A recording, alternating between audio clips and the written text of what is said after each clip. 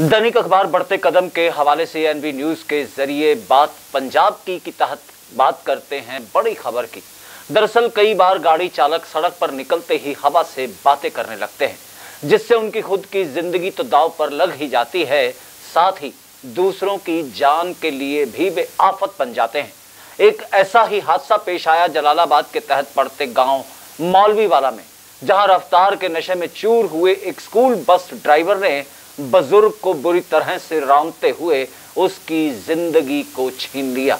तस्वीरें जो सीसीटीवी की हैं, जलालाबाद के तहत पड़ते गाँव मौलवी वाला की हैं, जहाँ बुज़ुर्ग किसी काम से घर से निकला ही था कि पीछे से तेज रफ्तार बस ने आते हुए उसे अपनी चपेट में ले उसका काम तमाम करके रख दिया।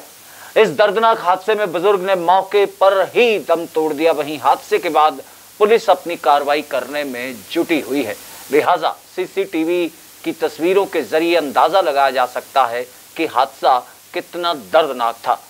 बहरहाल, पंजाब की बात में बड़ी खबर के तहत इतना ही, लेकिन देश और दुनिया की बाकी ताज़ा तरीन खबरों पर आप अपनी नज़र बनाए रखने के लिए हर पल, हर समय जुड़े रहें। एएनबी न्यूज़ के संग, धन्यवाद।